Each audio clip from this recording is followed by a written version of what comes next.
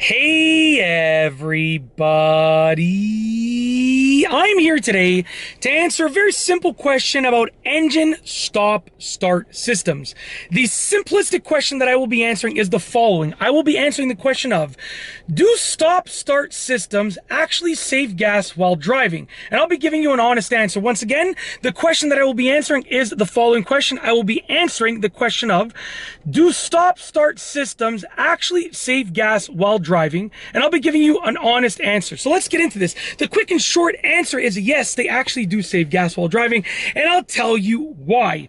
Modern cars are built differently than older cars. So essentially, with older cars, when you would start them up, right, they would waste a lot more gas starting up than if you just let them idle. So a lot of the times back in the day, people, instead of turning off their car for a minute or two and then starting it again, they would just let it idle for that minute or two because they figured it's wasting less gas. That's just because of the way the older engines were made and stuff like that. But with modern technology, cars essentially waste the same amount of gas idling as they do starting and stopping. Meaning, let's say I started my car and let it idle for 10 seconds. So, like from the time that I turned the key to start it and, and let it idle, it would have been 10 seconds, let's say. So I started it and let it idle and shut it off for 10 seconds.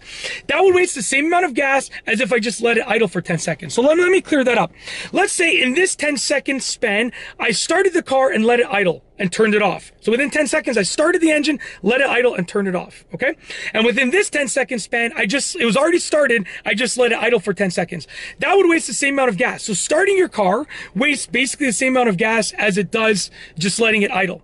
So an engine stop start system will stop the engine and turn it off when, you know, when it thinks that you're not going to be using it, like at a red light, at a stop sign, blah, blah, blah. So let's say I'm sitting at a red light for 30 seconds right now, and my engine stop start system stops the engine for 30 seconds. That means I would have saved 30 seconds worth of gas compared to the car being running for that 30 seconds. So if you can follow what I'm saying, and when you imagine all of the gas, all of the, the moments, if you, if you calculate, let me clear my thoughts here. if you calculate all of the moments and seconds and minutes that your engine is stopped while you're in stop and go traffic. Let's say by the time you get home, your engine has been turned off for 10 minutes. You essentially will have saved 10 minutes worth of idling gas. Okay. Um, yeah. So however many minutes your engine has been stopped during the engine stop start process, compare that to how much gas it would have wasted idling during those minutes. And that's how much gas you saved. So yeah, they save gas. Is it a ton? Depends on where you live for myself, I don't drive. Like I'm very fortunate enough to be able to make my own schedule now.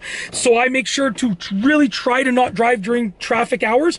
So I rarely drive in stop and go traffic. So my engine stop start system, not in this vehicle. I'm in my CRV. It doesn't have that feature, but in my van, in my Odyssey, my Honda Odyssey, it does have that feature.